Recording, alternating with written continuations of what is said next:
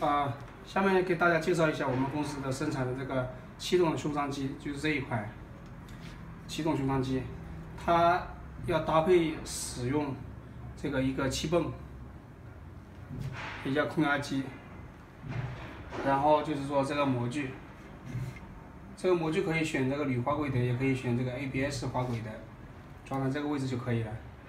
这个是我们公司里面那个切纸刀，就是说把那个纸片。呃，打印好，然后切下来，用剪刀对着剪开之后，然后剪成这种圆片就可以了，就可以制作胸章了。嗯，听着，仔细讲解一下这个气动胸章机怎么样安装。首先，我们拿到这个气气动胸章机的时候，你观察一下，这个里面是油水分离器，放了一点油在里面，起到这个润滑这个气缸的作用。这个我们这个机器也是通过 C E 认证的，就是出口欧洲啊、美国，就是也也是达标的。那这一边的话呢，就是一个呃电源开关，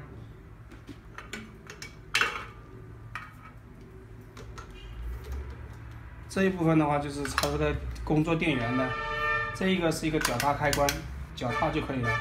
这个是一个时间调节的，就是说这个气缸它压这个模具的时候，它压下来。停顿多长时间？这个秒数计算的。像压这个铁卡的话，就停顿时间短一点；压这个塑料胸章的时候呢，时间稍微长一点也无所谓。这个位置的话是这个气管进气管，进气管，从这里就直接往里一塞就可以了，塞紧。退出来的时候呢，就是用那个手把这个蓝色的塑料件往里面按住，然后拔出来就可以了。这一端的话是这个接口，主要是接那个气泵上面的那个那个这个位置的一个一个接口。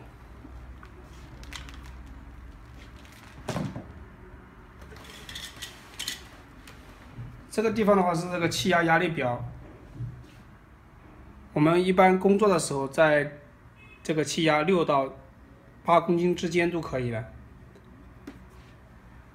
这个地方是一个气压调节的，你拔起来，如果气压只有四五左右。你拔起来，上面有加减，往加的地方就就是变大，调到你比较合适的一个气压，工作气压，比如说六公斤或者七公斤左右，你把它调好之后，按下去就可以了。这个位置呢是一个喷油，就是润滑这个气缸的时候，这个油量的大小可以，你看到也有加减，把它稍微调节就可以了。一般出厂的时候我们都调好了。这个位置是一个电磁阀，就是你工作的时候，就是说电通了之后，你可以按这个位置往下测试一下也可以。啊，下面我们就是接着讲一下这个气泵的这个安装注意事项。这个这一部分的气气气动胸张机的主体部分已经讲完了，等一下我们就可以把模具装上去试压一下。然后这个。就是说，这个最小的一个呃空压机是四十升，这个气缸是四十升的，电压是五百五十瓦就可以了，就用我们二百二十伏的电压插上去就行了。那么这个有些人就问，呃，这个气缸怎么配？也可以让我们给你们整套的配好，比如说一个胸章气动胸章机，一个气泵，然后你要什么模具就配什么模具。然后搭配什么样的规格的这个切齿刀？这个气泵呢，呃，这缸体越大，就是储存的气量就越多，就是说它插上电，它工作一次，存储的那个气体就越多，就像你肺活量越多越大，然后你压的时候呢，它的就是说不需要连续泵气，它就可以在那休息。等到你比如说压个一百个左右，好，它气差不多用的比较气压比较低了，这个时候它再进一步泵气。不过呢，这个小的已经可以，就是说你用量不大的时候也可以用了。像这个个体也不大，这个重量也很轻，只有十六公斤。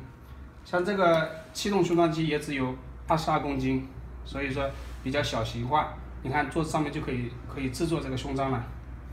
这一部分的话呢，我们要注注意一下，这个位置是一个出气孔，就是气缸气缸，这个气泵，这个气连接到这个气动送装机上面来的时候的一个接口。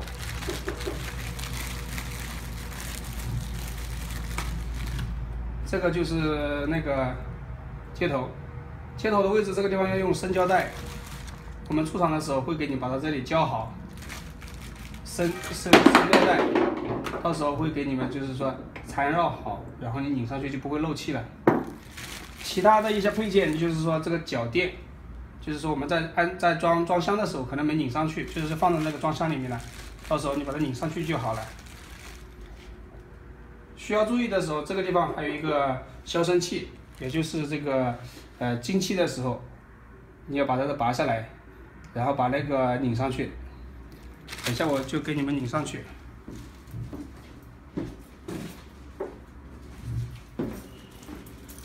这个是呃，涂在这个这个袋子里面，把这个部分要拧紧。现在是我不拧，等等一会我们把它拧好来。这个东西要拔出来，不拔出来的话，它气进进不去的。然后这个缸体的下面有一个排水的。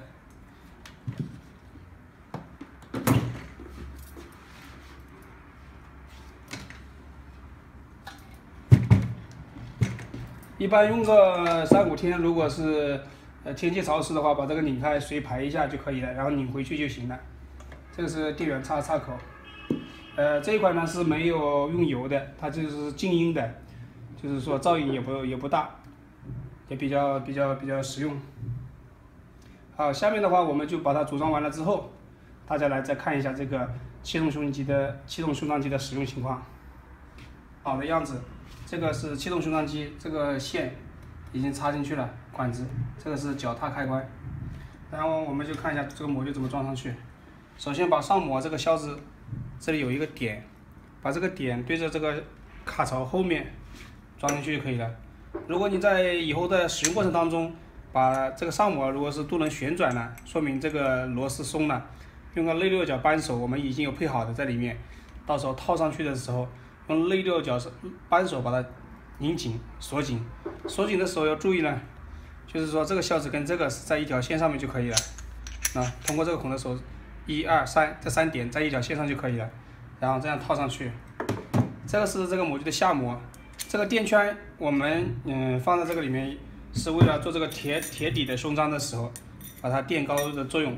如果是做那个塑料底的胸章的时候，就不用加这个垫圈了。这个模具的话呢，这个是销子，左右两个有两个销，各一个销子，呃，起这个限位的作用。这两个销子的话呢，一个这左模，这是右模，也是这样子，跟它是垂直的。好，那么我们先开始装上去，上膜孔对好，好，吸铁丝把它吸住了，然后轻微的你这样子活动，让那个销子呢。能够通过这个孔就可以了，然后呢，从左往右，这里稍微抬起来，然后如果是你这样子没有通过这个孔就抬不上去，让它轻轻拨一下，好，抬上去，从这个滑槽里面滑过来，线尾销放进去，看一下左右这个位置，好，可以了。那么呢，在压左边的时候，我们要求是。这个盖板是压在这个三个销子上面，这里保持有这个空间间隙，才能够让这个这个里面的那个上盖纸片、膜片这三个东西，在一它上膜压下来的时候，能够将这三个东西顶上去，顶上去，在这个上膜当中有空间，保留有空间之后，它这三样东西才能够在停里面停留。如果你这样子。在压左膜的时候是密闭的状态的时候，那么那么说明这里面没空间，它这个纸和膜上盖，它就没办法进入这个上膜。所以说有些人他说为什么压左边的时候压不上去，就是由于没有注意这个事情 而导致的。所以说压左膜的时候要求一定要注意，这个盖板是这里是有空隙的。压右膜的时候这一部分是密闭的。等一下，我们气连好，示范给大家看一下。好，这个是气缸，脚垫我们没有装，你自己把它脚垫垫起来就可以了。我因为我们现在是桌面上演示，这个是消声器，也可以从这里进气，呃，已经拧好了。这一部分是这个接头，生胶带已经缠好了，这个开关是已经关闭状态。等一下这个插头插上去之后，这个往后拉，往后一拉，往里一塞就可以了。往往后面一拉，这里塞进去，退回来就可以了。然后气，好，已经通上了。现在我们在桌子上面就也是可以试的。你看，现在工作状态还是正常的，这里是密闭的，哎，这里是有空隙的，说明这个上膜可以保留有一个空间在里面。右膜这个线位也是正确的，你看，这里是工作状态是密闭的。假设这个你在使用过程当中这里歪了，因为我们这个下面是一个大弹簧套住的，你可以左右旋转，这个都没有关系，都不影响。然后让它能够靠住这个销子。达到这个位置的效果就可以了。右边也是的，假如说夸张一点，拧到这里来了，或者你自己拧的时候装的时候，把它没搞搞对，这个你把它拧正一点就就不影响了。好，下面呢我们就是制作一个这个胸章给大家看一下。首先上盖放进去，纸片，这个图案朝上一点，对着这个销子，再往过来一个一点的重的方向就可以了。膜片放进去，推过来，然后这是等会压，这个是垫圈，我刚刚讲过，就是做这个铁铁下壳的那个胸章，金属胸章后盖的时候就放进去，这个光面朝下，这个锋利这一面朝上就可以了，别针它是靠上面这一端，好，现在我们压一下。然后推过来，这里好，取出来，这个胸章就做好了。然后如果是做这个塑料的那个胸章的时候，就把这个拿出来就可以了。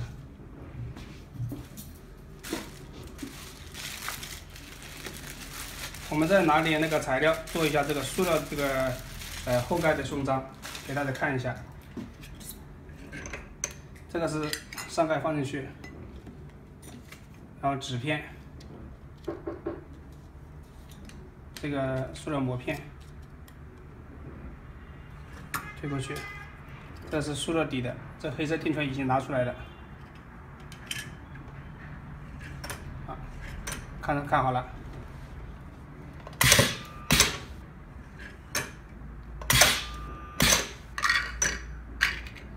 在塑料底的胸章，这正面。这也是正面，这背面。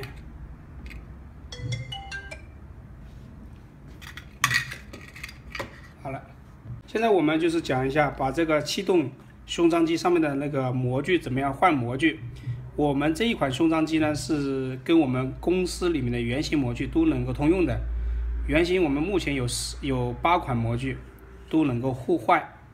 下面我们看一下怎么取出来这个模具换小的模具。这个销钉取出来，左边的，然后右边的销钉也把它取出来。好，然后把这个上模具，你看这样子，轻轻的，一定要注意是轻轻的，不要太猛，轻轻的旋转它能上来就可以了。拖住它，一个手拖住它，一个手你看，把模具从右往左一拉出来就可以了，放这位置。上模具，然后也用双手这样托住它，往下拉。它就能拉出来了，这是模具上模具，放上去，这是两个销子就可以了。换模装模具就是刚才讲过了，方向反反反过来就可以了，这样子，反反之就可以了，也是这样轻轻的推上去，塞进去，放下来，销子左右各一个就完成了。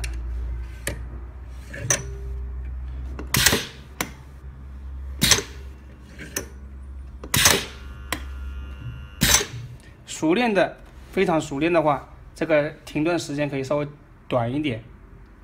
然后有些要，有些产品，它要求这个要力很大，或者要停留时间多一点，要压得紧一点，你这个时间可以调得长一点。